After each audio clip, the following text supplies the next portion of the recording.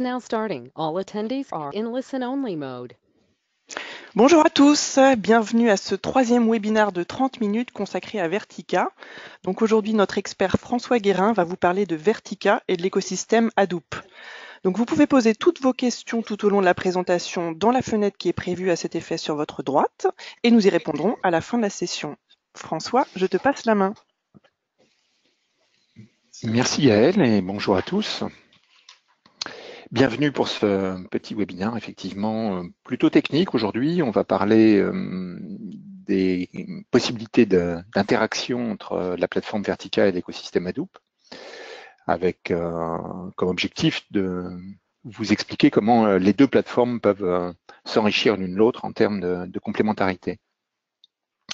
Avant ça, un petit rappel, ce webinaire fait partie d'une série de webinaires techniques et c'est l'épisode 3. Donc, ce qui signifie qu'il y a déjà eu euh, deux sessions antérieures et pour ceux qui euh, n'auraient pas eu euh, l'opportunité d'y assister ou qui voudraient plus d'informations sur d'autres aspects de Vertica, les deux premiers épisodes. Le premier épisode était une, introduction générale qui donnait un tour d'horizon sur les caractéristiques essentielles de la technologie, pour ceux qui ne connaîtraient pas les, aspects essentiels de Vertica, sur lesquels nous ne reviendrons pas pour le coup aujourd'hui.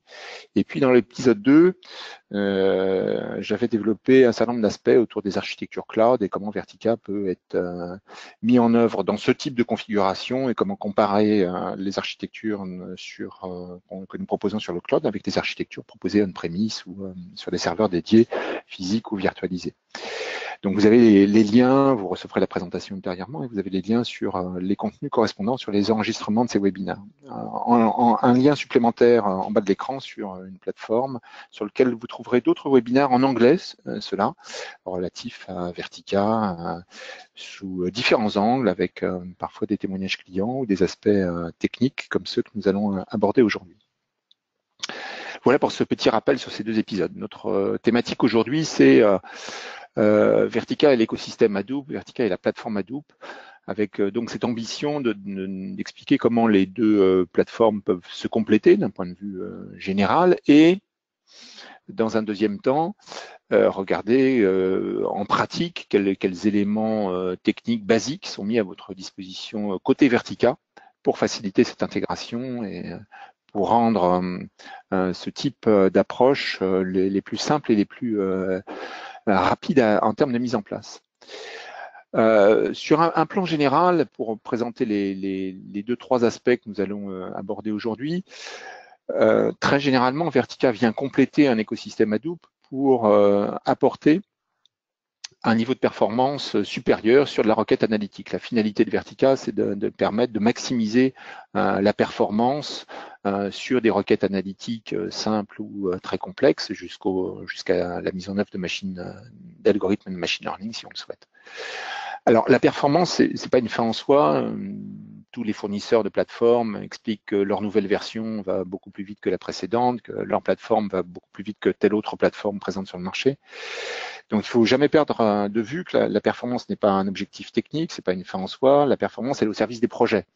Donc c'est ce que j'ai voulu euh, en premier lieu euh, rappeler, c'est que les gains de performance spectaculaires, mesurés, c'est ce qu'on voit à droite de l'écran par certains de nos clients, et restitués dans, les témoignages clients que vous trouverez sur le lien sur le site de TechValidate, sont au service des projets, au service des utilisateurs. Quand on est avec Vertica 10 ou 20 fois ou 50 fois plus rapide qu'une euh, autre euh, plateforme comparable, c'est au service d'utilisateurs qui sont devant leur outil de requête, devant leur euh, l'interface graphique que vous avez mis à leur disposition et qui vont en euh, trois secondes avoir euh, les informations qui leur demandent 30, secondes, une minute ou parfois beaucoup plus avec d'autres plateformes en termes de temps d'accès. Donc l'idée derrière la performance, un avec Vertica évidemment de la maximiser, mais toujours dans cette dimension au service des projets. Alors ça a aussi un sens par rapport aux plateformes Hadoop, bien évidemment, puisque côté analytique, évidemment, dans, sur les socles de type data lake, on veut euh, projeter beaucoup d'usages. Pour un usage qui maximise la performance, Vertica peut être un très bon complément à ce type euh, de plateforme. Donc on regardera dans la suite des éléments techniques comment, euh, qu'est-ce qu'on propose dans Vertica pour connecter euh, notre plateforme à des solutions comme Kafka, Spark ou euh, comment on, on, vous permet depuis Vertica d'accéder de façon transparente à l'ensemble des données stockées dans le data lake, dans des formats divers et variés soit pour euh, peut-être les copier et les charger dans Vertica, soit plus généralement pour les accéder simplement en lecture et peut-être les croiser, donc croiser des données présentes dans le data lake avec des, données présentes dans Vertica. Pour illustrer un tout petit peu euh, ces différentes approches, j'ai retenu euh, deux exemples d'architecture. On aura un troisième, un troisième exemple un petit peu plus loin dans la présentation. On a deux exemples d'intégration directe entre du Hadoop hein, et, des contenus HDFS avec Vertica, avec un premier exemple d'architecture qui est euh, une architecture présente chez un client sur de l'analyse de données de, clics, donc analyse d'activité sur un site marchand, un site qui a une, grosse activité et euh, qui amène à collecter beaucoup euh, d'informations. Donc ce schéma de principe est très simple, mais il a comme qualité de montrer ou d'illustrer euh, cette capacité de, complément euh, de Vertica euh, avec un cluster Hadoop et on va essayer de resituer le pourquoi du comment de, chaque composant. la base de l'analyse de l'activité sur le site web, c'est de la capture d'informations brutes qui tombent plutôt sur la gauche du schéma dans une très bien nommée Hadoop drop zone, c'est-à-dire une, zone de qui reçoit des données euh, non structurées qui vont être euh, décortiquées, analysées par euh, des jobs côté Hadoop pour constituer une vision structurée des données aménagées où on ne garde que les informations intéressantes pour les objectifs analytiques poursuivis. Ces informations en tant que telles peuvent être accédées à l'intérieur du cluster Hadoop au travers d'une couche SQL comme Hive ou avec des algorithmes de machine learning, le cas échéant chez ce client euh, euh, dans la suite, les données sont euh, aussi chargées et dans un environnement HBase pour servir une toute petite application très simple qui est une application plutôt statique de, de mesure d'activité en quasi temps réel qui donne des indicateurs sur le nombre de visiteurs uniques, le nombre de visiteurs présents, voilà, sur des, choses très basiques en termes de, de mesure immédiate d'activité.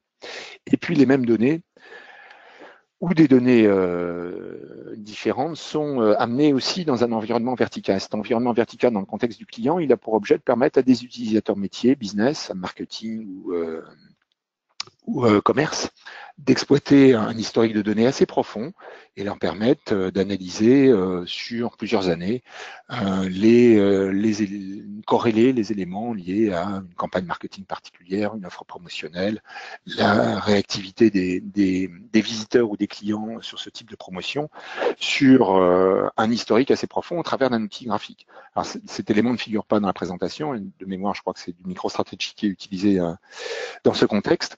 Donc on est euh, sur une partie avec Vertica qui sert des utilisateurs au travers d'un outil graphique. Et ça rejoint euh, l'argument que je donnais sur la, performance initialement. On est sur un périmètre où on veut favoriser, avec une performance maximisée, la facilité d'accès à l'information, la facilité de manipulation de l'information pour euh, des utilisateurs finaux.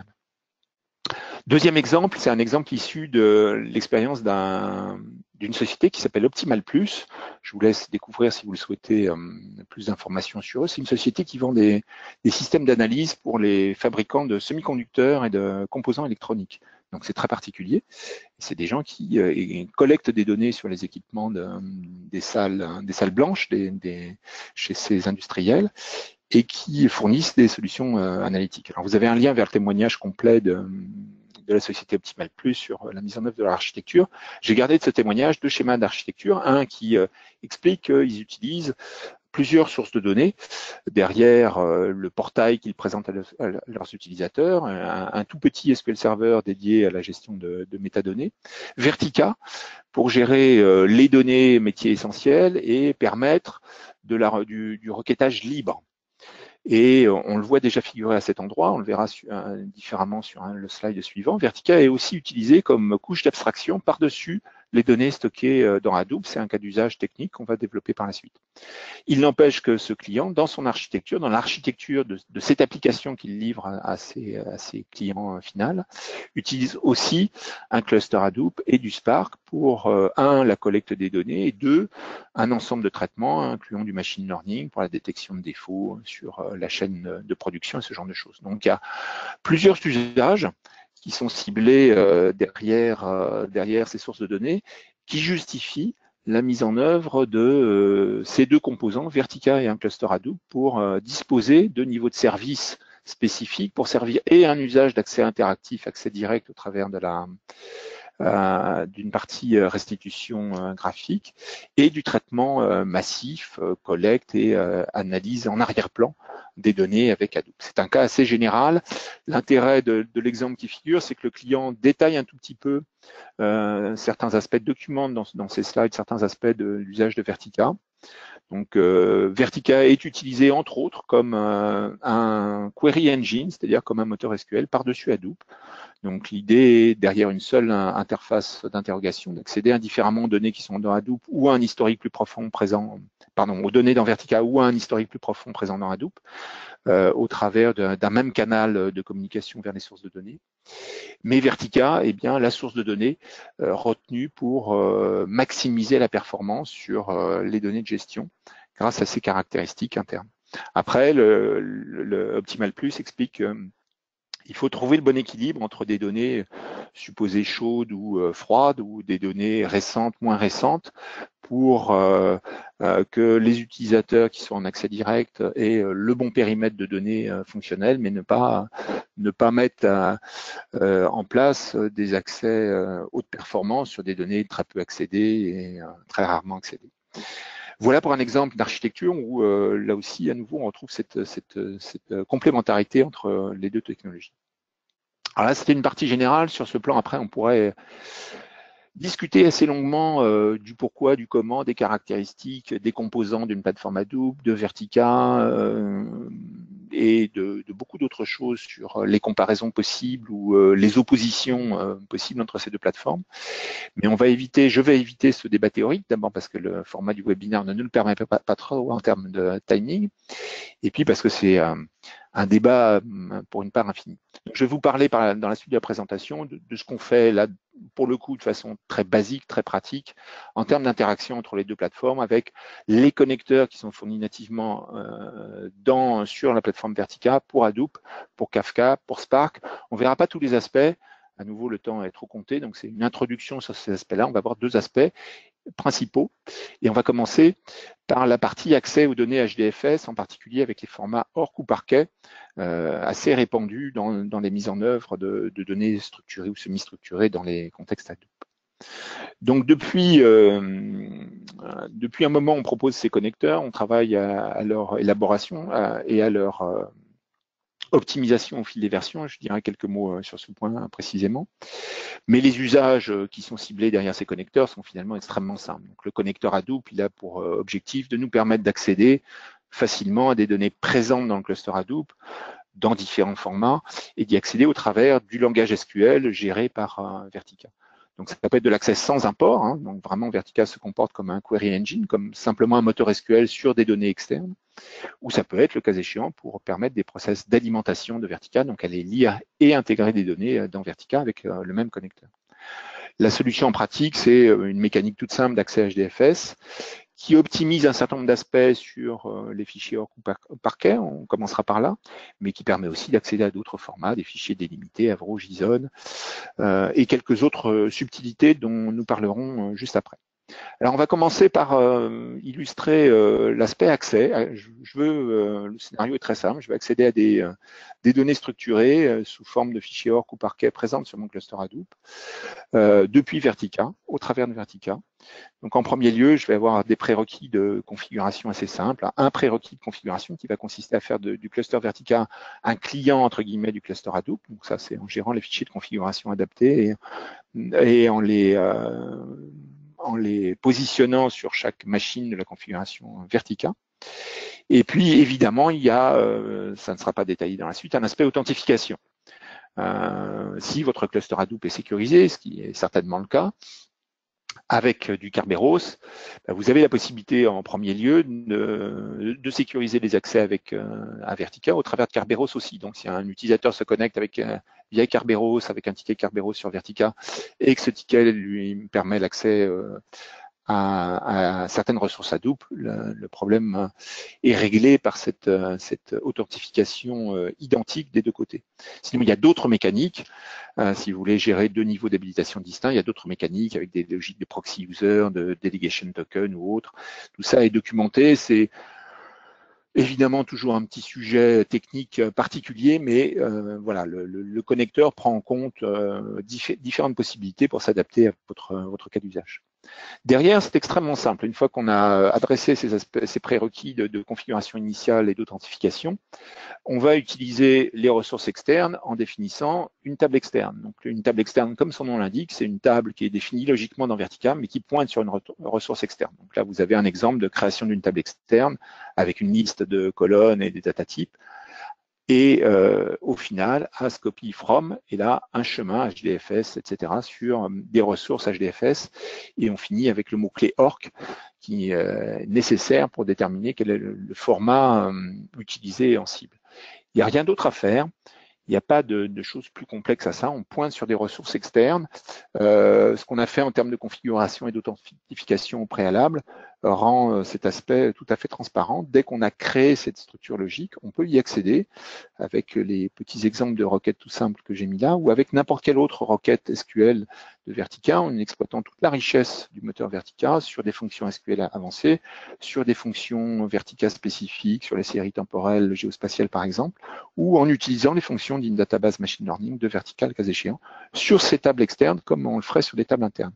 On peut aussi aller sur un scénario qui consisterait à croiser euh, le contenu d'une table externe avec le contenu d'une table présente dans Vertica, si euh, c'est un cas de figure qui se présente. La table externe est, externe dans sa définition et ensuite accéder de façon tout à fait transparente. Donc c'est extrêmement simple en termes d'usage, en termes de développement, en termes d'approche. On peut présenter euh, une couche sémantique dans un outil X ou Y qui va masquer des données internes ou externes indifféremment à Vertica sans difficulté. Derrière, en arrière-plan de cette euh, simplicité de mise en œuvre, il y a une petite subtilité technique qui mérite d'être citée puisque euh, l'équipe Vertica a été contributeur pour le développement d'une librairie qui s'appelle libhdfs++, qui fait partie aujourd'hui des distributions euh, Hadoop, qui est, comme son nom l'indique, une, librairie écrite en C++, qui est une alternative à l'interface traditionnelle Web HDFS, performante. Alors, ça nous vaut d'être cité sur la page du projet ORC euh, comme contributeur sur ce développement. Euh, et pour cette librairie, elle nous donne euh, des capacités sur la performance, sur la stabilité qui sont intrinsèquement intéressantes parce qu'écrite en C++, mais elle nous donne aussi des possibilités supplémentaires pour les formats hors coup parquet. C'est ce qui est décrit euh, de façon très synthétique euh, en bas de ce slide. Voilà. Euh, à partir du moment où on exploite cette librairie pour accéder à ce type de format et compte tenu des caractéristiques de ces formats, on va pouvoir déléguer une part des traitements. Vertica va pouvoir déléguer une part des traitements ou Datanode du cluster Hadoop, par exemple pour de l'élimination de colonnes, de l'élimination de partitions et du push-down, c'est-à-dire la délégation de, prédicats. Donc, par exemple, un filtre peut être traité côté Datanode et Vertica ne reçoit que euh, les informations qui, euh, qui, correspondent aux prédicats ou aux colonnes sélectionnées ou aux partitions sélectionnées, le cas échéant. Donc c'est intéressant parce que ça permet de distribuer le travail euh, de façon plus intelligente entre Vertica et le cluster Hadoop. Accessoirement, dans ce type de scénario, c'est aussi très important, si vous avez un cluster Vertica de N nœuds qui accède à un cluster Hadoop théoriquement de taille plus importante, euh, tout se fera en parallèle. L'ensemble des nœuds Vertica communiqueront avec l'ensemble des datanodes de l'environnement Hadoop. Voilà pour cette petite précision sur ce qui se passe en arrière-plan avec ce connecteur HDFS. Alors dans, mon exemple, il fallait créer explicitement une table avec un create table, etc., un create external table, pardon.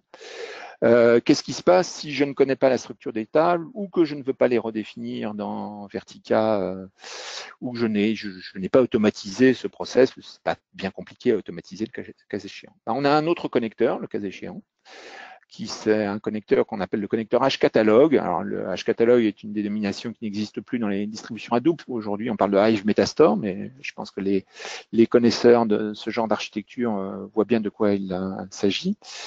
Euh, et alors là, il y a quelques étapes d'installation un petit peu plus spécifiques pour utiliser ce connecteur, mais rien de très complexe. Et derrière, on peut euh, définir un accès au catalogue H-Catalog, là c'est avec les syntaxes propres à une, sandbox Hortonworks, mais peu importe. Et puis derrière, une fois qu'on a défini cette mécanique d'accès au catalogue de l'environnement Hive, ben, on peut taper sur les tables en utilisant euh, le schéma HCatalog qu'on a créé comme un nom de schéma, donc select étoile from h4.customer me donne accès à cette table cliente présente, définie dans le catalogue et donc présente dans mon environnement Hive. Donc, je n'ai pas défini explicitement quelle était la structure de sa table.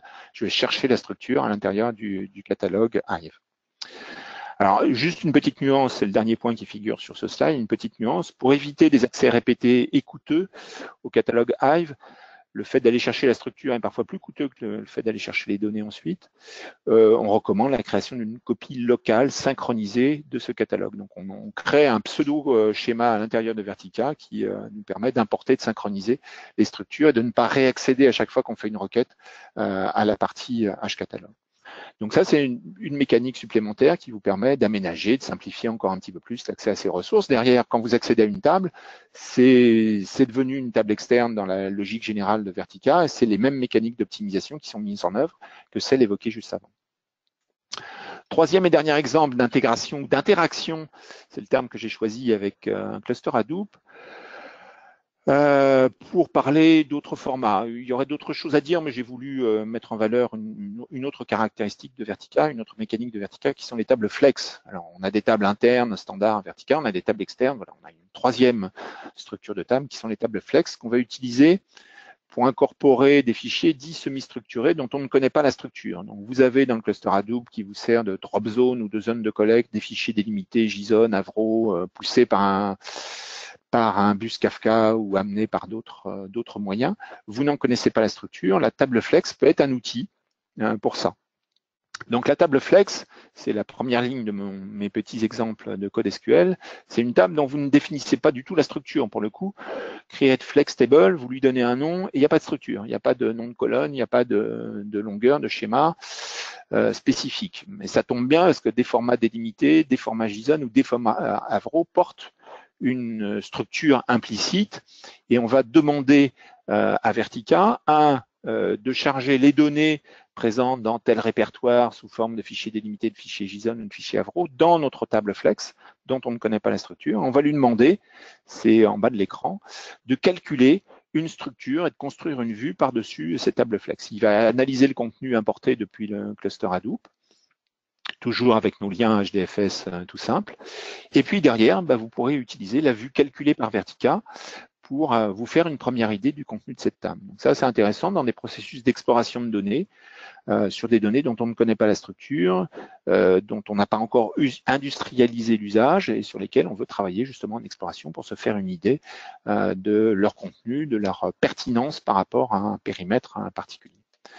Voilà, c'était mon troisième et dernier exemple sur ces interactions euh, euh, HDFS. On a différentes modalités euh, pratiques, on a différents usages euh, dans, ces petits exemples. C'est des choses très très simples. Une fois mis en œuvre euh, la connectivité, l'accès et la manipulation des données se fait de façon très simple et HDFS devient une ressource accessible comme si j'avais un file system partagé. Et pour le coup, petite précision, ce que j'ai décrit ici Aujourd'hui, ces mécaniques que j'ai décrites dans ces petits exemples marchent avec des ressources HDFS et marchent de la même façon, par exemple, quand vous êtes dans le cloud, avec des ressources qui seraient posées sur du S3. Donc vous avez euh, dans un cloud Amazon du S3 comme euh, ressource pour de nombreuses euh, structures de données. Vous pouvez utiliser les mêmes mécaniques, les mêmes principes pour accéder à ces ressources sur un stockage de cette nature. Voilà pour ce petit exemple autour d'accès HDFS ou, autre source, le cas échéant. On va parler un tout petit peu d'intégration Kafka, ça sera notre dernier sujet euh, technique pour boucler euh, ce webinaire, parce que c'est un sujet assez récurrent. Et c'est un sujet qui nous renvoie vers des mécaniques euh, d'architecture dite temps réel. Terme est, à mon sens, assez souvent utilisé à tort et à travers dans beaucoup de, présentations et beaucoup d'approches. Moi, j'ai posé là un petit schéma de principe hein, d'architecture logique analytique euh, temps réel, où Kafka sert de source de données, sert de source de données capable d'alimenter indifféremment le data lake et euh, la couche analytique avec Vertica. Vertica possède un connecteur Kafka qui lui permet de consommer des messages en continu en quasi temps réel. On va décrire un tout petit peu le, quelques aspects de ce connecteur derrière. Donc, on peut garder euh, une même mécanique d'alimentation pour alimenter deux, deux, cibles comme Vertica et un data lake. Ça n'a absolument euh, rien de,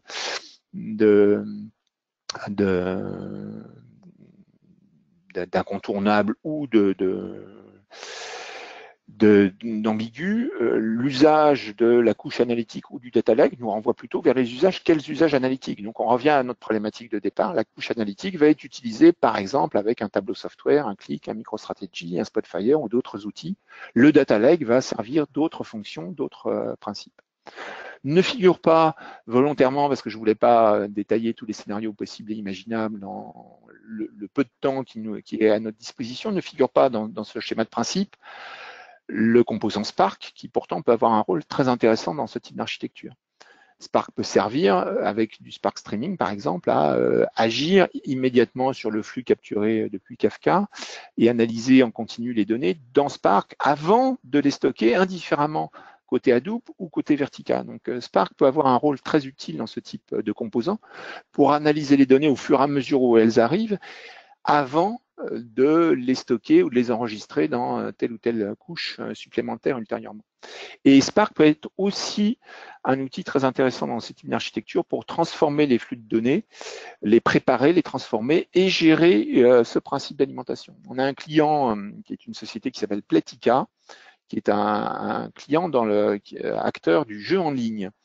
Alors généralement, on connaît les jeux, on ne connaît pas toujours les, éditeurs présents sur ce créneau. Donc Pletica utilise une euh, mécanique euh, basée sur Kafka et Spark dans cet ordre, hein. c'est-à-dire que les données euh, sont véhiculées depuis les serveurs de jeu au travers de Spark, puis alimentent un cluster, au travers de Kafka, pardon, puis alimentent un cluster Spark. Et ce cluster Spark traite les données en entrée, les calcule et les charge dans Vertica, dans l'exemple de ses clients, en quasi continu et à très haut débit. Donc, euh, encore une fois, Spark peut aussi avoir un rôle dans un scénario d'alimentation. Là, on va rester simplement sur le seul connecteur Kafka, donc sur un scénario plus simple. Encore une fois, on ne peut pas détailler trop de choses euh, dans les 30 minutes qui nous sont imparties aujourd'hui. Donc le connecteur, il est très simple, se connecter à Kafka en soi depuis une base de données n'a rien de, très, euh, compliqué. Euh, Vertica va principalement dans l'essentiel des scénarios clients consommer des messages Kafka et on a une fonction Kafka Export aussi pour produire des messages en, résultat d'une requête SQL le cas échéant. Sur la consommation de messages, bah, les points clés, c'est ce qui est décrit euh, en haut euh, du schéma. Un, on peut évidemment faire du chargement manuel, entre guillemets, donc avoir une planification de tâches ou un ETL qui occasionnellement lance euh, des chargements depuis Kafka. Mais on a aussi une mécanique de scheduler qui va automatiquement organiser le chargement régulier, récurrent des messages Kafka dans Vertica. Il le fait sur une logique dite de micro-batch, donc c'est l'intelligence de ce job scheduler, c'est euh, d'organiser, de découper euh, les chargements euh, dans Vertica sur une logique de, micro-traitement. donc toutes les 5 secondes, 10 secondes, 30 secondes en fonction des objectifs, on ouvre le robinet, on intègre les 100 000, 1 million, 10 millions de messages qui sont arrivés dans l'intervalle de temps, on, referme le robinet, on écrit tout ça dans Vertica au sens d'une transaction, et puis on recommence 5 secondes, 10 secondes plus tard et ainsi de suite. On a la capacité de cette façon à gérer euh, des volumes tout à fait significatifs en input et en quasi continu, évidemment, toujours avec une latence correspondant à ce qu'on a décidé en termes de planification. Quelques autres subtilités sur le bus Kafka, bah, comme à d'autres endroits, on sait percer des formats JSON ou Avro qui sont très utilisés dans ce genre de, messages. Et petite subtilité supplémentaire pour les messages Avro, on supporte la mécanique de schéma registry qui permet d'isoler les métadonnées relatifs à ces messages en dehors des messages et euh, le connecteur gère ce genre de, possibilités aussi. Voilà, dernier point sur cet aspect Kafka. ce qui est important, hein, c'est réellement cette logique de micro-batch. Euh, parce que euh, Vertica reste un moteur euh, SQL qui gère une logique transactionnelle dite traditionnellement acide. Donc voilà, les données, à un moment, à partir d'un certain offset sur ma file de messages, je prends l'intégralité des messages arrivés dans l'intervalle de temps, je les insère, je gère mon point d'arrêt et je vais réaliser une transaction, donc un commit côté base de données pour garantir l'intégrité des écritures dans Vertica et garantir euh, des mécaniques de, reprise. Si euh, ma file d'attente n'est plus accessible pendant un moment, je reprendrai là où je m'étais arrêté, et ainsi de suite. Donc une mécanique fiabilisée euh, en termes transactionnels. Voilà, je vous ai donné quelques exemples très pratiques sur l'aspect accès HDFS, accès à des fichiers org, parquet autre petit scénario, euh, une description très synthétique du connecteur Kafka. Il y aurait pas mal d'autres choses à décrire et à euh, expliquer sur euh, certaines subtilités de ces connecteurs, mais en fait, réellement, c'est des connecteurs qui sont faits pour être très simples, très faciles en termes de mise en œuvre et couvrir les cas essentiels en termes de cas d'usage. il y a des choses dont on n'a pas parlé. On n'a pas parlé. On a un connecteur dédié pour Spark, bidirectionnel, qui permet indifféremment de créer des data frames Spark en lisant une base de données Vertica en masse en parallèle et un connecteur qui permet de, véhiculer des données dans l'autre sens. On a une capacité d'export vers HDFS, donc on peut exporter euh, le résultat d'une requête euh, sous forme d'un fichier parquet euh, sur un cluster HDFS. On a encore quelques autres capacités, beaucoup d'autres choses. L'idée clé de l'ensemble de ces connecteurs, c'est de vous fournir un certain nombre de possibilités, un certain nombre de scénarios d'intégration pour vous permettre de multiplier les possibilités, les, scénarios d'usage dans cette logique d'intégration, de complémentarité entre Vertica et un cluster Hadoop, avec toujours, j'espère que vous l'avez perçu dans mes quelques exemples, des choses finalement très simples dans la mise en œuvre, et des choses qui restent, ça je ne l'ai pas détaillé, mais qui restent optimisées. Je vous ai parlé un tout petit peu de ce qui a été fait sur la, cette fameuse librairie libhdfs++ pour optimiser l'accès hors coup parquet. L'ensemble de nos connecteurs sont faits pour permettre à, nos clients qui en ont besoin de gérer des très grands volumes dans ces interactions entre les deux plateformes. Voilà pour ce tour d'horizon. Je pense qu'on est un, petit peu juste au terme timing, mais c'est à peu près correct. Il me reste à vous remercier, à moins que nous ayons peut-être des questions posées en ligne. Je me tourne vers Gaël. Merci François. Donc bien évidemment, nous vous enverrons la présentation après la session ainsi que le lien du replay. Euh, alors pour l'instant, il n'y a pas de questions. On va attendre juste quelques petites secondes.